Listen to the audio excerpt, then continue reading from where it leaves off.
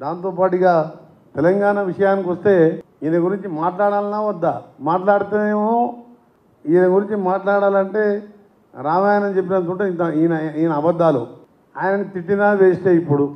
ఆయన గురించి మాట్లాడినా టైం వేస్టే అనిపిస్తుంది. ఎందుకంటే నేను ఒక నాలుగు నెలలుగా మంత్రిగా ఇప్పుడు ఈ రెండు నెలలు వివిధ కాన్ఫరెన్స్లో తిరుగుతూ ఇక చచ్చిన పాముని మళ్ళా చంపేది అని చెప్పినట్టు ఆయన తిట్టినా ఒకటే ఆయన గురించి ఎక్కువ మాట్లాడినా టైం వేస్ట్ అని నా ఉద్దేశం. ఎందుకంటే ఒకటి రెండు స్థానాల్లో డిపాజిట్ కోసం ఆయన పో- పోరాటం చేస్తుంది తప్ప ఏ ఒక్క స్థానం వచ్చే అవకాశం లేదు కాబట్టి నా టార్గెట్ అంతా ఇవాళ కులాల మతాల మధ్యన ఘర్షణ తీసుకొచ్చి ఎన్డీఏ కూటమితోనే మా టార్గెట్ ఇక్కడ.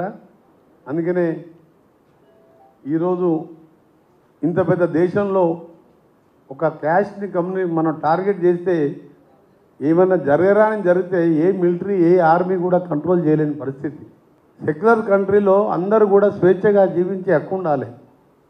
ఇప్పుడు కూడా మళ్ళా మాట్లాడిన గౌరవ ప్రధానమంత్రి గారు మేము ముస్లిం రిజర్వేషన్ ఎత్తేస్తామని.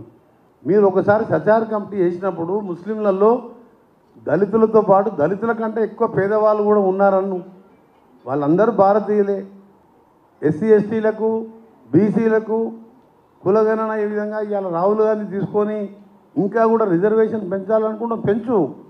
ఈ ఉన్న రిజర్వేషన్ తీసుకున్న తీసేయాలని తీసుకొచ్చి ఇవాళ మీ ఓటు బ్యాంక్ రాజకీయాలను పెంచుకునే విధంగా దాని విధంగా మాట్లాడడం కూడా తప్పని చెప్పి ఇలా బీజేపీ అమిత్ షా మోడీ ఎవరు మాట్లాడి అదే మాట్లాడదు. ఎందుకంటే అది తీసేస్తా అంటే హిందువులో ఓట్లు వస్తాయి ఇది పద్ధతి కాదు ఇది.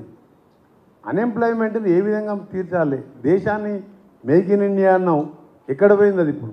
కాంగ్రెస్ పార్టీ హయాంలో కట్టిన నాగార్జున సాగర్ బాగ్రా నంగల్ శ్రీశైలం లాంటి డ్యామ్లు ఎక్కడ పోయినాయి? ఎక్కువ డ్యామ్ అయినా కట్టినా ఒక ఇరిగేషన్ గురించి ఆలోచించినావా? ఎల్ఐసి రైల్వేలు ఎల్ఐసి అంటే ఇలా పేదవాడు ధైర్యంగా దాని సంపాదనలో నాలుగు రూపాయలు దాచిపెట్టుకుంటే నా సేఫ్ కూడా ఉంటుందని చెప్పి ఆలోచించే లైఫ్ ఎల్ఐసిని స్థాపించిన కాంగ్రెస్ పార్టీ ఆ రోజు జవహర్లాల్ నెహ్రూ పంచవర్ష ప్రణాళికతో పాటు ఒక ప్లాన్లో భాగంగా చేస్తే నలభై కోట్ల మంది డిపాజిట్దారులు ఇవ్వాల మధ్యలో చూసినాం మనం. సహారా కుంభకోణం శారదా స్కాము అగ్రి గోల్డ్లు ప్రైవేట్ ఇన్వెస్ట్ చేసుకుంటే ఎక్కడ ఎక్కడ పోతుంది చెప్పండి? గవర్నమెంట్ సంస్థ అయితే నీ పెట్టిన పైసకు ఇంట్రెస్ట్తో సహా ధైర్యంగా నీకు ఎప్పుడంటే అప్పుడు తీసుకోవచ్చు. దాన్ని కూడా ప్రైవేటైజ్ చేస్తున్నాం.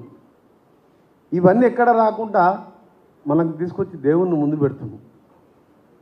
ఎవరి మతాన్ని వాళ్ళు? నేను హిందువుని దేవుని ముక్త రాముని ముక్త హనుమంతుని ముక్త దేవాలయాలు కట్టిస్తా చర్చిలు కట్టిస్తాం మసీదులు కట్టిస్తాం ఈద్గాలు కట్టిస్తాం. ముస్లింలు వాళ్ళ గౌరవాన్ని వాళ్ళ అలా అని ప్రార్థిస్తారు. బైబిల్ వాళ్ళ క్రిస్టియన్స్ వాళ్ళని జీసీని ప్రార్థిస్తారు. కానీ కొత్తగా తీసుకొచ్చి నేను చెప్పేది లేక అందుకనే కేసీఆర్ గారి గురించి ఒకటి రెండు మాటల్లో చెప్పి ఆ తర్వాత మీకే ఛాన్స్ ఇస్తాను. ఎందుకంటే మోడీ గారి గురించి చరిత్ర మీ అందరికీ తెలుసు ఇప్పుడు కూడా మళ్ళీ మోడీ మూడోసారి ఎన్నికలు జరిగింది మూడోసారి ఆయన నాలుగు వందలు రెండు వందల యాభై మూడు వందలు వచ్చి ప్రధానమంత్రి అయితే రెండు వేల ఇరవై తొమ్మిదిలో ఎన్నికలు ఉండవు. ఇక భారతదేశంలో ఎన్నికలు అనేవి ఉండవు. రష్యా లాగా చైనా లాగా ముప్పై ఏళ్ళు అధికార పార్టీ రాసుకుంటారు వాళ్ళు. ఎన్నికలే ఉండవు.